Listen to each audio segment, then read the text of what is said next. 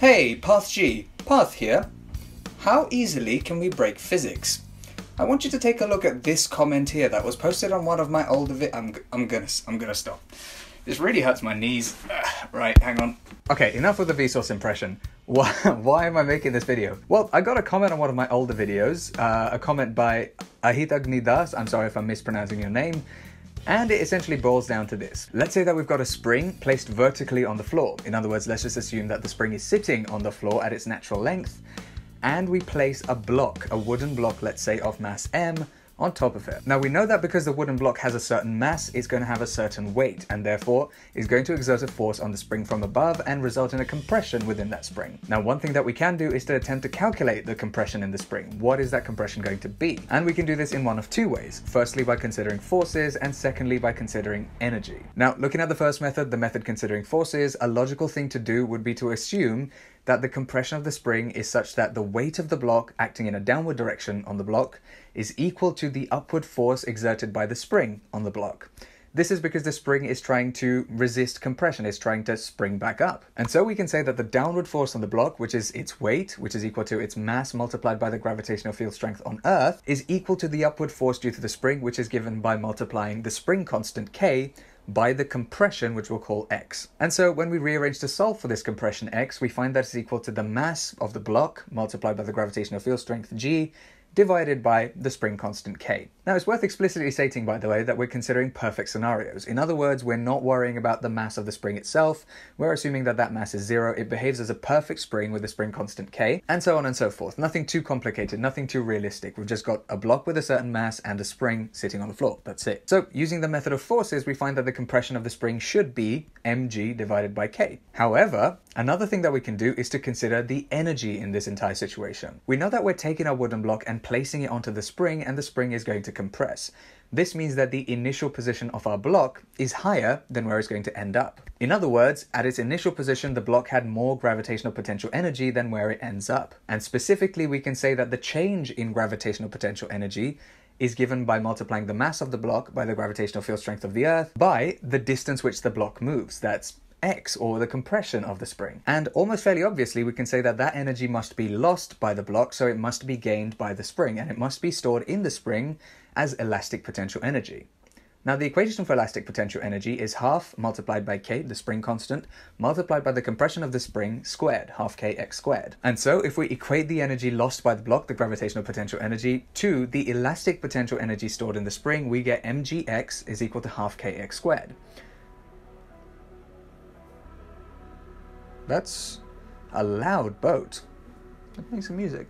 Trying to film here. Thanks, mate. okay, so if we rearrange this equation and solve for the extension x, we find two possible situations. One of them is the boring one, x is equal to zero. In other words, the block doesn't move at all and the spring doesn't compress. Kind of dodgy, but the other one is really interesting. The other one ends up being, what does it end up being? I'm trying to do some maths in my head. Hopefully this is right. The other one ends up telling us that the compression of the spring must be 2 multiplied by mg divided by k. So this is twice the value that we found when we used the forces method. So what gives? What should the compression of the spring actually be? Should it be mg over k or should it be 2mg over k?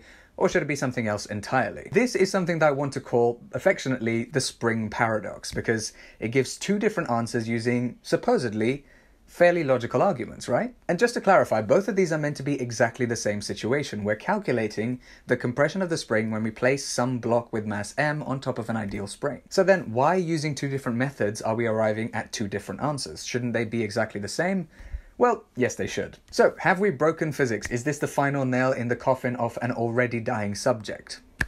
The answer is no, of course not. Physics is not even close to dying, and we'd have to try a little bit harder to break physics. So, uh, Let's go through why this, this argument doesn't work. But first of all, which argument is incorrect? Is it the forces argument or is it the energy argument? Well, let's think about the energy argument in a little bit more detail. We've said that we want to find the equilibrium position, that is, where the block will end up on top of the spring and how much the spring will compress by, but how are we going to get there in the first place? Let's imagine that we're holding the block initially so that the bottom of the block is just touching the top of the spring without compressing the spring at all. This is our initial position. This is where the block starts to move downwards. And then we bring the block down slowly until it reaches its equilibrium position. Well, in this situation, the block actually wants to accelerate downwards because of the force of gravity. In other words, its weight. And we are having to stop that from happening. We're basically having to do work on the block in order for it to move slowly and smoothly down to its equilibrium position. And so we're essentially applying an external force onto the system. Our hands are sources of external force. And in fact, energy is being dissipated here. There's a better way to think about this though. Let's assume that we start with a block, like we said earlier, just touching the top of the spring so that the spring isn't compressed yet. This is our initial position and we simply let that block go. That block starts dropping, right? It accelerates downwards because it has the force of gravity on it. And the force from the spring is not yet enough to counteract that downward force of gravity. Now, as the block continues to drop, the upward force due to the spring starts to increase until the block gets to the point where the force from the spring balances the force due to the weight of the block. But by that point, the block is already in motion. It has a certain downward velocity. That's how it got to that position in the first place.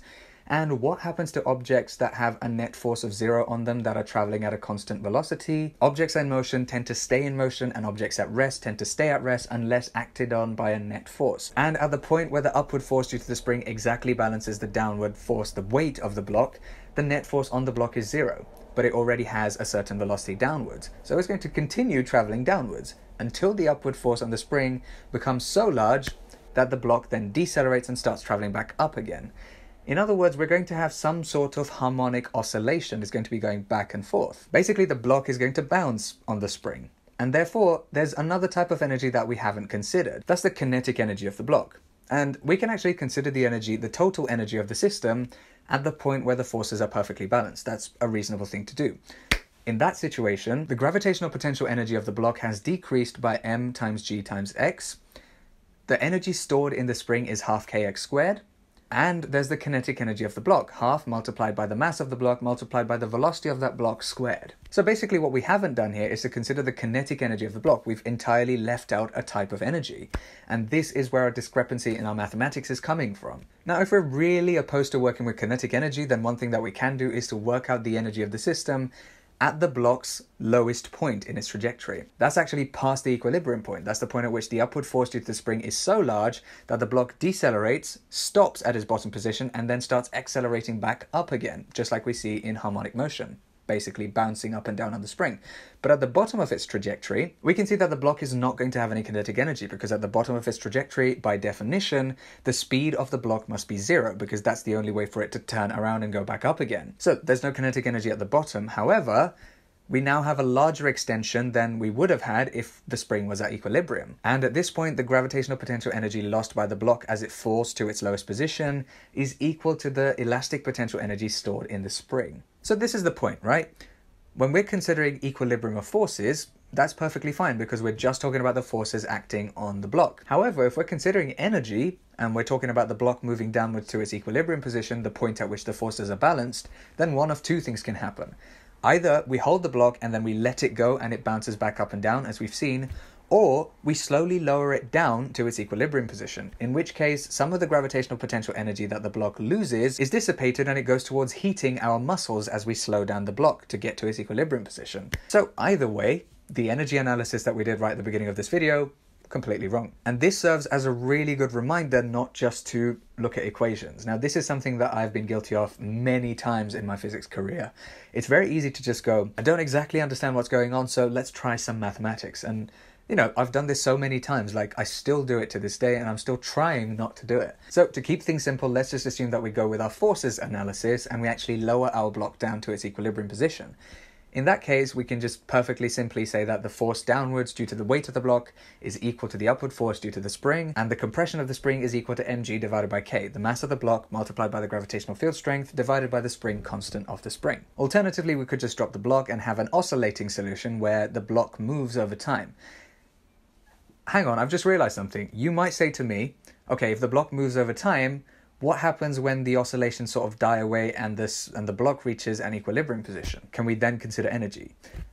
Well, yes, you can, but you have to account for all that energy that has been dissipated as the oscillations die away. The only reason that the oscillations die away in the first place is because of maybe air resistance against the block or the heating of the spring itself or something along those lines. So again, that energy is being dissipated. And so when considering energy, we need to be careful about this kind of stuff. Along those lines, if you've noticed something that I've done incorrectly in this video, then let me know down below and we'll try and correct that.